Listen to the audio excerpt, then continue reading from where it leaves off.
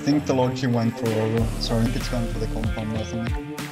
Alright, let's try not to engage. Wait for us. They're they're pushing towards me, mate. It's a full squad. Oh yeah, there's two guys. This is so much. Guys, do that.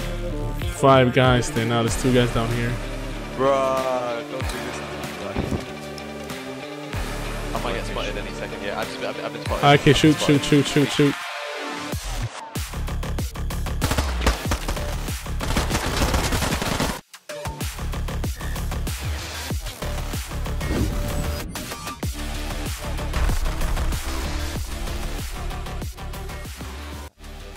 Welcome to part 2. If you haven't watched part 1, then I recommend that you do so. Link is in the description. In this clip, me and three guys from my squad have spotted some enemies and we suspect them to have a fob in the area. So we spread out and try to find it. Yeah. Yes, we got Oh yeah, there's my God, two guys. so many of them. pushed by at least the squad. Four of them on. Uh, if you want, you build another one, but the enemy know that one's there. Squad leader up there as well. This is taking so much. Do guys. Do it now. Five guys there now. There's two guys down here. Bruh, don't do this to me, Flash. Uh, Alright, spread out a little bit. Don't cluster up. When going into any situation, I like to mentally prepare myself for how the situation can evolve. And these are some scenarios that went through my mind at this moment. Here my squad is, sneaking through the bushes, hoping to find the enemy radio when we spot all of those enemies on the rocks. And even if we kill one at the same time, all the remaining enemies will focus on us. And we have no hard cover to fight from. All the enemies we kill can just respawn and come back, and we don't even know where the spawn is or how many more enemies there are in the area. Our only options after the first shot would be to rush the rocks and hope to find and block the spawn, or to get stuck in a firefight we're not going to win. Or to retreat. Another way this could go down is something like this, and this is a very common trap that many SLs lead their squads into. My squad is too close together and we get spotted by the enemies. We're all in the kill zone and get completely slaughtered. This is the main reason why I tell my squad to spread out, so if one gets spotted, the others may still have a chance. Alright, spread out a little bit, don't cluster up.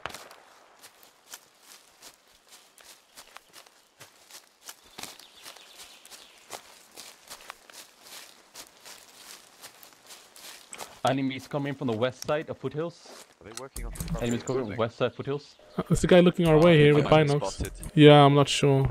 Yeah, No, I don't think so yet, because he's still... Bino out.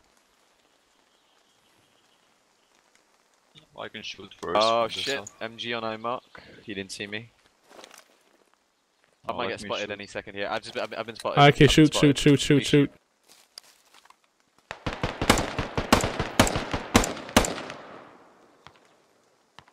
Two guys over here. Yeah, I can't do anything.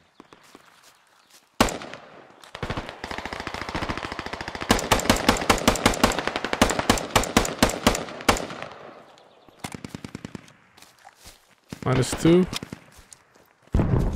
On Bravo, two. Losing people on West Foothills, guys. And we have the attack going on. Come on. Seal and he's pushing. One more down. West side.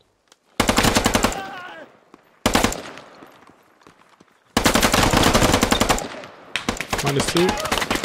On you, on you, on you. First. Thank you, you got him. Just behind that rock, behind you.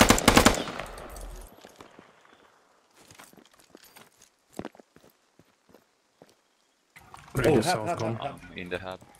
Yeah, right. Foothills dead. If you find Yeah, any abandoned vehicles, enemy Here's vehicles, just We need- to block the them. Have. Take down the tickets. Radio, radio, radio. here. Oh. Mark I it, dig it, dig it. Carl, give him. It's on me. He's on him. They're giving up. They're gonna spawn in now. BMP. Yeah. C4 on the radio. I'll just I'm rushing to the it hab. there. We have has been marked down now. It's locked, it's locked. Nice.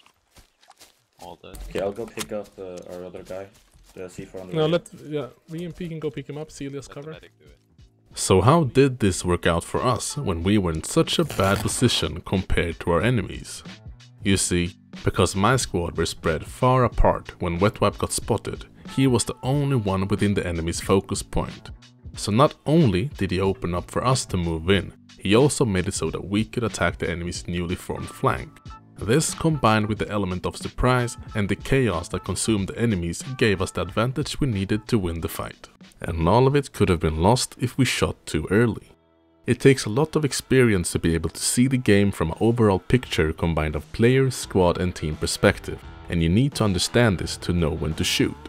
But I can boil it down to three main reasons. 1. When you're trying to stop the enemies from doing something. So in general, if you see that the enemies are trying to do something, it's a good thing to stop or delay them. For example, you're noticing that the enemies are trying to build an attack fob, well go ahead and attack them to stop them from building it. 2 when you are trying to get the enemies to do something. Maybe your team wants to attack the enemy capture point from a forest east of Cap, but at the moment there's an enemy squad defending that forest.